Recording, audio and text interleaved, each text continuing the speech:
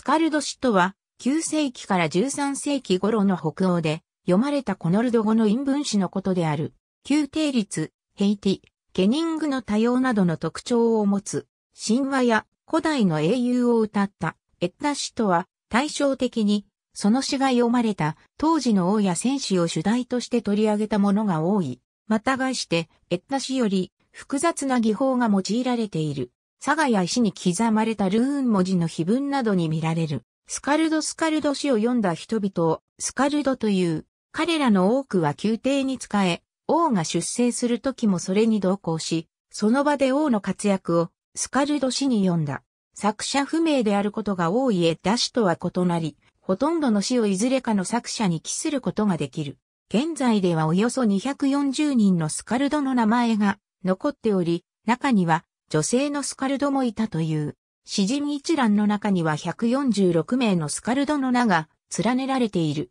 宮廷律とは、スカルド詩に見られる韻律の形態である。一つの詩は、通常8行からなる。各項は6つの音節を持ち、そのうち3音節に強制が置かれる。強制が置かれた音節は、陽角と呼ばれ、そうでない音節はそもそも角と呼ばれる。奇数行の陽角のうちにつと玉数行の最初の陽角に当院が置かれる。また、高内院も用いられる。奇数行に用いられるものを半院、玉数行に用いられるものを完全院と呼ぶ。行末の二音節は、トロケを構成する。平地とは、スカルド詩のみに用いられる特殊な単語のことである。日常使われる単語に特別な意味を持たせることも平地に含まれる。このルド語で名あるいは故障という意味を持つ。詳細はケニングを参照。ケニングとは一種の比喩であり、ある概念を複数の単語を用いて言い換えることである。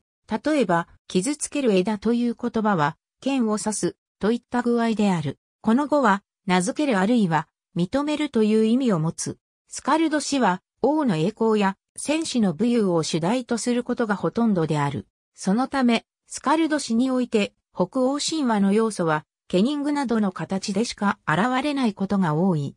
北欧神話の物語に直接言及している詩は、長き秋、ソウル昇華、ラグナル昇華、家の昇華など、少数の作品しか現存していない。また、スカルド詩人のサガでは、スカルド詩人のサガとして、スカルドが登場するサガが6つ挙げられている。スカルド詩人のサガ P168、スカルド詩人のサガ P172、スカルド詩人のサガ P173、ジョン・マッキネル、原点資料、ユリーカ第39巻第12号、PP107 から120、北欧の文学 P60、スカルド詩人のサガ P168 から169、ありがとうございます。